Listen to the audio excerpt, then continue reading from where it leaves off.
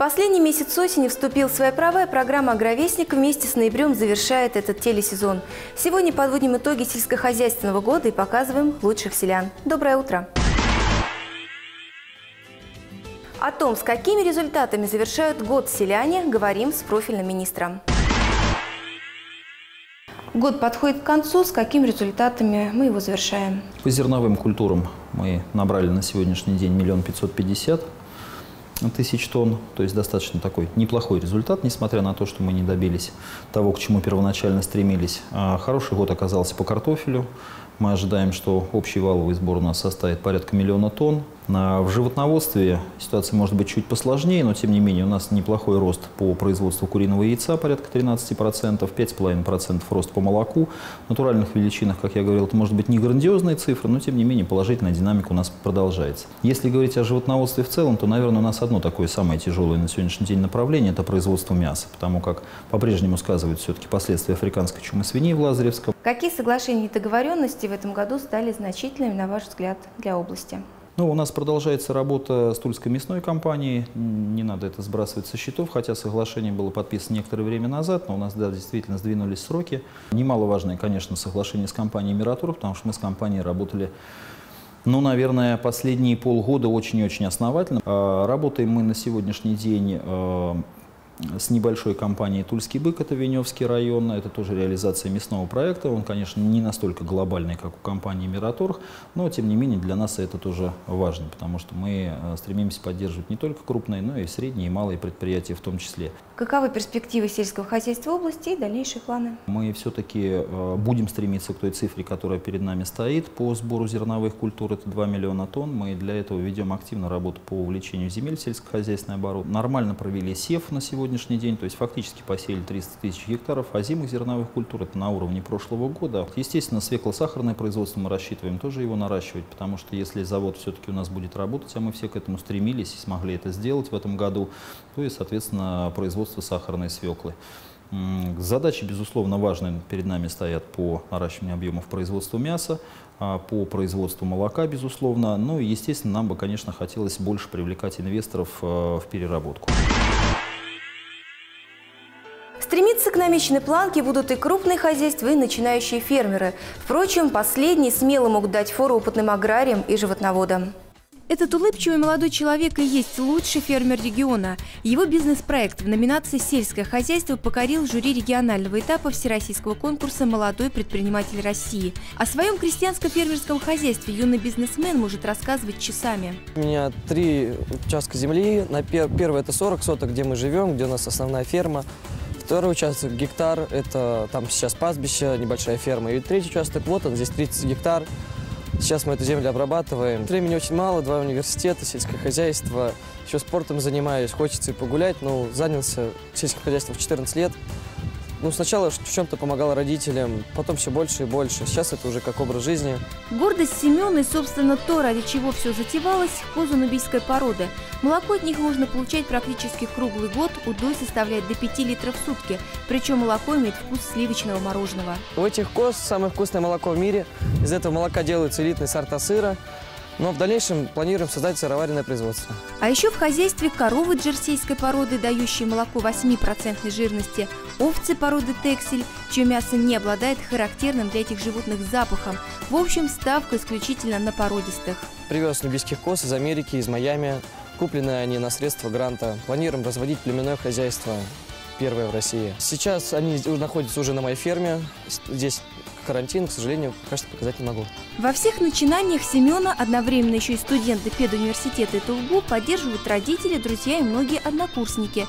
Некоторые сверстники посмеиваются, впрочем, зря. Не за горами день, когда Семен начнет поставки своей необычной сельскохозяйственной продукции в магазины.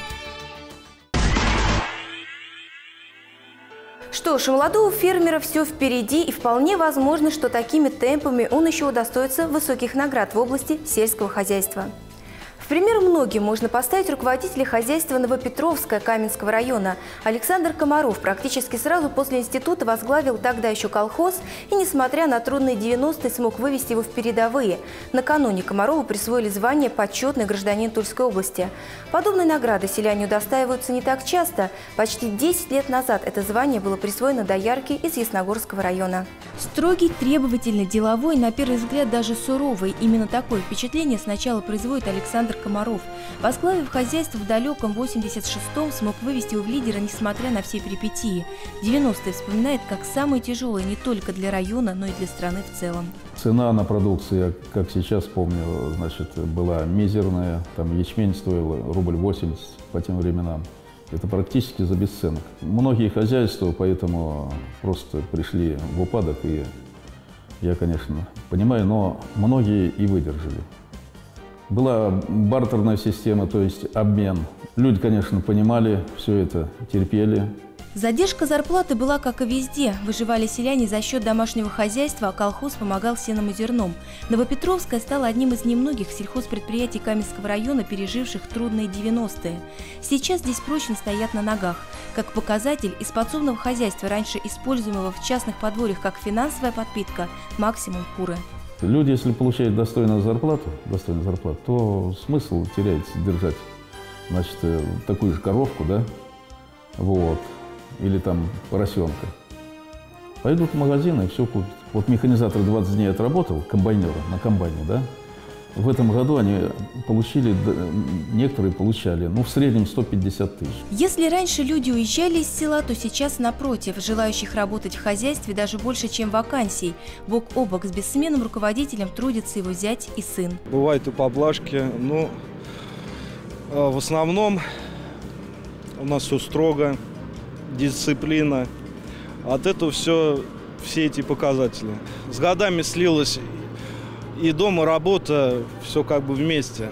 Поэтому он и дом начальник, он и на работе начальник. Кстати, на вопрос, чем можно задобрить отца и начальника, отвечают, что только высокими показателями, например, урожая.